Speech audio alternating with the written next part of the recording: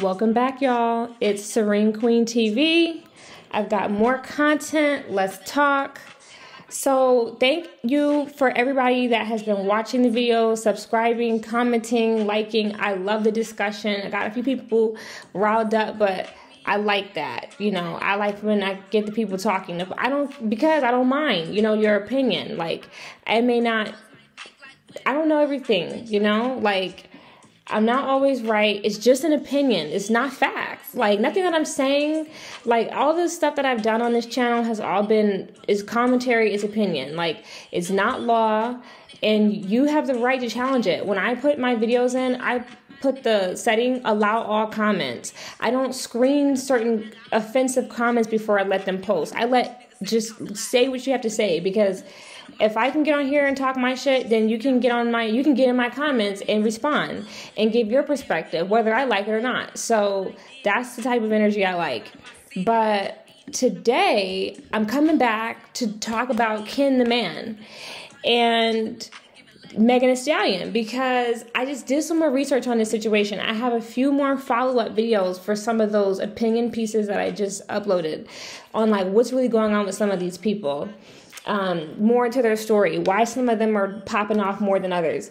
And I did some research into Ken the Man. So, Ken the Man is also from Houston, Texas, like Megan Thee Stallion. And once I found that out, I was like, hmm, you know, that makes sense. That's what happened to her. Like, because I just really haven't, like, heard of her or like well just lately you know what i mean like she's not really in the conversation um I, I'm I feel like people who you know go to like hookah bars and clubs a lot. You probably are familiar with, you know, I'm saying some of her music, but, um, but like, you know, do do you have you heard of like her shit lately? And do you actively stream her music? Like, we don't really hear about her on like the top streamed people or whatever and that's okay because she's a new artist and like she's still pretty underground. She's had like some mainstream success.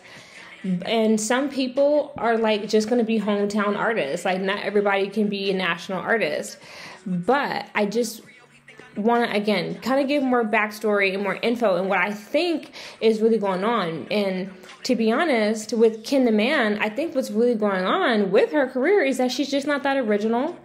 And that Megan had a better team, better music, more bars. Um, and then that is like really what has like catapulted her. Um, let me see. Like, okay, they're both from Houston too. And like Megan got with a good team early on. Like, she got with 1501 pretty early on. Then, like, from there, she um, like even before we knew who she was, Megan was auditioning for Love and Hip Hop. Glad she passed on that. Um, she just had a buzz kind of from her campus. You know, she is good looking. Um, so it's easy for, for people to want to like fuck with her. And her, she did have her mom there too, like giving her, you know, that direction. And like she was saying me and my mama were just rolling around houston just figuring out what we were going to do to push my music. Like megan was doing fashion shows. She really had her mom there to like give her like some career direction. I don't really know who ken the man has behind her. She says she has a manager um, according to her instagram page. But signing to 1501, signing to a small label early on really helped Megan a lot because that's what helped her get her deal with 300, which eventually helped her get involved with Roc Nation. Just in my opinion, because, and kind of from what I know, because 300 Entertainment is owned by Kevin Liles and Lyor Cohen who are like really good friends with Jay Z. Like, that's, but see, they already, I think, have her in like a recording deal at 300, but she's in a management deal at Roc Nation. And of course, Jay Z like wants to put her in a recording deal because that's where the big dough is. But I'm looking on Apple Music to see like when Megan like first started. So Megan dropped uh, her first mixtape in 2017. With Ken the Man, she dropped a single in 2017 that didn't make any waves. Um, so, but the Make It Hot mixtape, you know what I'm saying? It was a whole, it's a whole body of work, cohesive body of work. It's an EP, seven songs and like full songs too like not two minute songs you know like full you know the shortest song on here is two minutes and 48 seconds the longest song on here is four minutes even so a healthy body of work seven songs over 20 minutes and um, with different sounds. Like Megan's early music is good. That's that's the truth. Her music lately has kind of expired. I don't know. It's just become so commercial but her old music was there. She had the bars, she has talent, and that's the difference between her and Ken the Man in my in my um, understanding. Because for my opinion because i just listened to a few more of the man's songs because i really wanted to give her a chance. I really liked not my nigga so and I, I felt like it was like a really good song. I felt like she had some you know just i liked the the lyrics like and i felt like you know was it really full of bars? Not that i could really I wouldn't say so, but I thought it was a good song, and it's more lyrically inclined than most these days. A lot of these days, people just find a decent hook and just repeat that shit to the end over over a fire ass beat.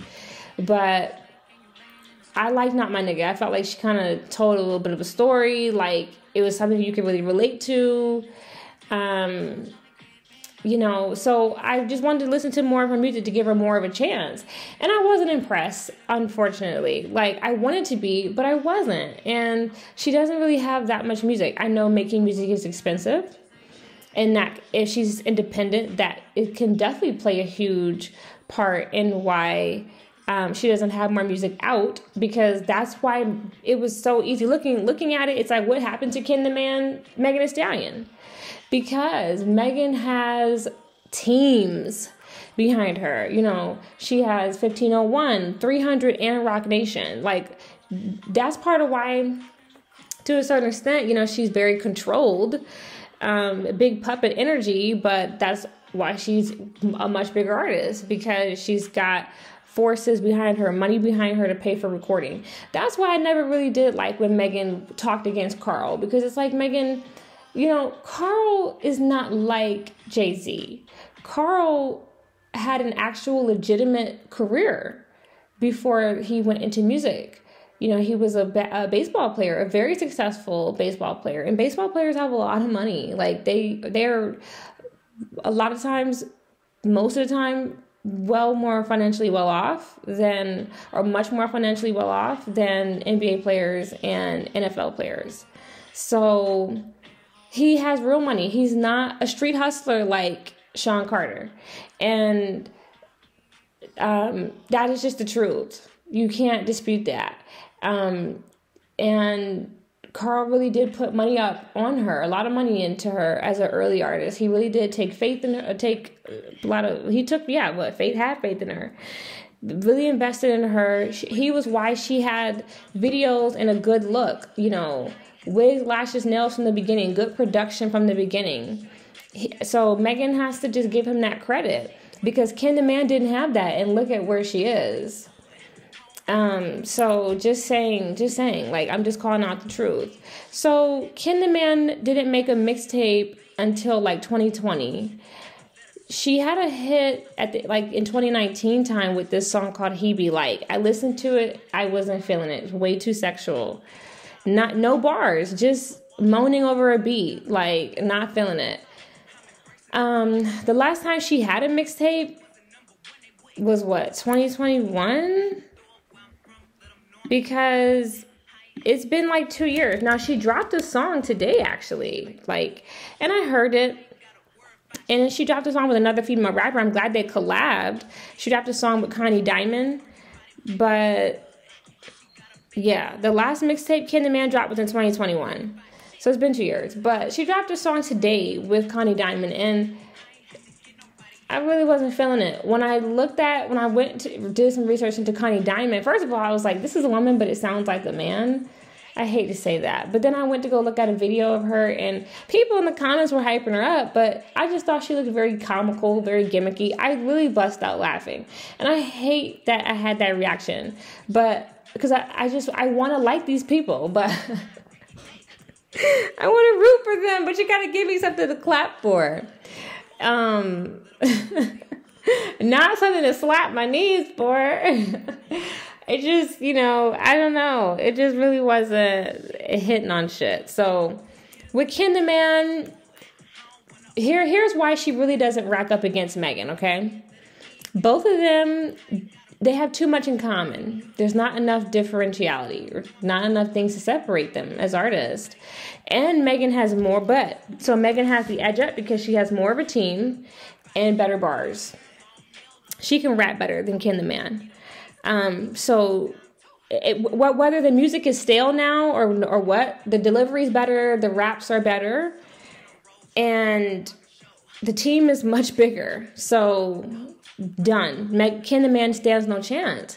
But when it comes to what they have in common, and another reason why she has no chance, because again, there can only be one. Heavily sampled music. I'm so tired of it. Um, both of them sample way too much fucking music, but that's a part of the industry's agenda. Highly sexual music. So fucking tired of it. A part of the industry's agenda. Um, a lot of Ken the Man's music refer- has has referrals to 304s and it's just like why are you pushing prostitution so blatantly so open? Like that is so toxic and dangerous. Um i she is and and see you ladies and and people period who are listening this is why you don't sell your soul because you sell your soul for what? You sell your soul for what? For a double cheeseburger? Like at the at the end of it like you you will regret it because it's just like so so Ken the Man, you you pushing all of this sexual music and you're still not on top. So what are you doing it for? I don't know. You know, I just I guess some she has to ask herself that. But highly sexual music pushing prostitution, I don't like it. Southern, they both have a Southern accent. They both have like that Houston, Texas, you know, accent. So they naturally just, they sound alike. They have the exact same song content, both talking about how they use and dispose of men. I just don't like that. I don't like that agenda from men or women. The uh, the abuse and misuse and disposal of um, the opposite sex. Like I don't like that. Um, because it's not healthy and it's part of why I keep having to be attacked every day with fucking red pill and pink pill and black pills and all these. I wish you bitches would overdose on some pills. Stop fucking making that dumbass content about dumbass relationships. Fucking read a book. Like, go do something. Learn how to fucking sew. Hate you hoes. Like, I'm sick of that bullshit. This type of fucking music is subliminally programming people. And it's why I can't fucking enjoy Twitter because I'm being harassed by this stupid ass relationship bullshit. And can't even barely enjoy fucking YouTube either because you hoes keep making videos. I'm tired. Um, and they look similar, you know, wigs, lashes, nails. Megan, Megan and Ken the Man look alike. Like, you know, well, no, but you know what I mean? Just aesthetically, the rap girl aesthetic. Nails, wigs, lashes, like the fucking edges, the baby hairs, the butts you know, they're both brown. Like they look alike. They look similar. Like they don't look diff- different enough to be pushed.